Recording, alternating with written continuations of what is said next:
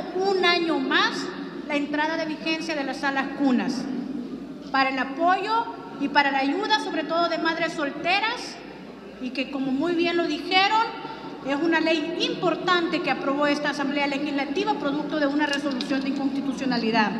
Por lo tanto, no podemos pasar por alto que se digan que es una pequeña modificación de un artículo y que no pasa absolutamente nada. Tenemos claro que esta solicitud la ha hecho el gobierno, tenemos claro que esta solicitud la ha hecho el Ministerio de Trabajo, el Ministro de Trabajo. Sin duda alguna no les importa cómo las mujeres en este país van a hacer para cuidar a sus hijos y a sus hijas mientras tienen que laborar. Y ese era el tema del beneficio. Por lo tanto, yo quería aprobarle al pueblo salvadoreño. Ya la posición oficial del grupo parlamentario lo dio nuestro colega diputado Catalino Castillo, parte integrante de la comisión y que ha hecho un gran trabajo para garantizar esta ley pero la aclaración no es cierto que sea algo tan simple. No es cierto que simplemente estamos haciendo una modificación. Modificar el artículo 2 y aceptar la sugerencia que ha hecho el presidente de la República y el ministro de Trabajo, nada más y nada menos implica retardar un año más la entrada en vigencia de las salas cunas en este país. Fíjense que ya la Asamblea Legislativa había aprobado la primera prórroga, precisamente porque entendimos el tema de la coyuntura y de la situación y votamos por seis meses más. Tenía que haber entrado en vigencia a mitad de este año. Y ahora no solo están pidiendo meses más, sino un año más.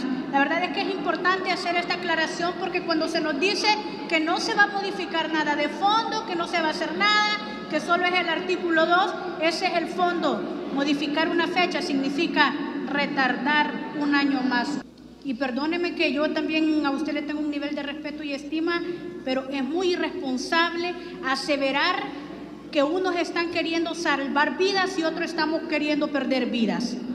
Ese no es el punto de, de, de, vista, ese no es el punto de enfoque de esta discusión que es muy seria. Yo reconozco, compañeros, compañeras diputadas, diputados, y igual que usted, presidente, la preocupación en relación a la vida y a la salud de todos los salvadoreños y salvadoreñas y en especial de la niñez del Salvador. Pero ustedes me están haciendo, muy bien lo dijo la doctora Gómez, un enfoque equivocado desde el tema de salud. Y ustedes ya se preguntaron si las salas cunas no entran en funcionamiento, está bien, hagamos una discusión en base a los planteamientos de cada grupo parlamentario, pero no digamos esas cosas tan, tan fuertes y tan irresponsables.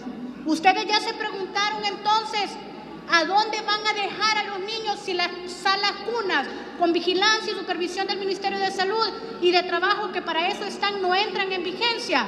Los van a dejar en cualquier otra guardería que no reúne los requisitos para cuidar y guardar la salud y la vida de los niños y las niñas en este país? ¿O es que acaso les van a dar licencia por todo este año a las madres solteras para que se queden en casa cuidando a sus hijos? ¿O es que van a encontrar quien le pague para cuidarle a los niños y a las niñas en sus casas? Veamos con más profundidad la discusión. Solo les pido que no nos ataquemos que unos que quieren salvar la vida y otros no quieren salvar la vida.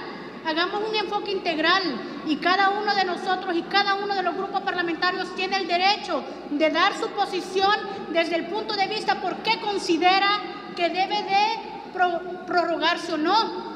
Pero cuando ustedes me lo dan desde un enfoque de salud, a que no lo vamos a arriesgar a que se contagien, ya quisiera yo que las mujeres tengan la suerte de quedarse en sus casas todo el año cuidándolos.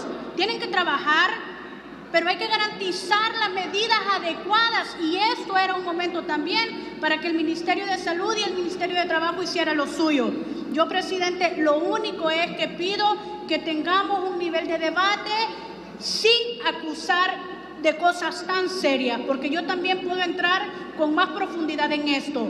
Pero la verdad es que creo que todos merecemos respeto y no es un tema de quien quiere salvar o quien quiere perder, porque podemos entrar en un tema también desde otro enfoque médico de salud y de vida, que creo que no es ese el tema, porque estoy clara que esta Asamblea Legislativa se ha caracterizado por la preocupación de la salud y la vida de los salvadoreños y salvadoreñas. Nada más por alusión también, porque yo he sido una de las que ha dado y mi grupo parlamentario ha dado una posición en relación de por qué consideramos que la prórroga no pueda ser posible, pero eso no amerita a entrar a acusaciones tan serias. Gracias, presidente.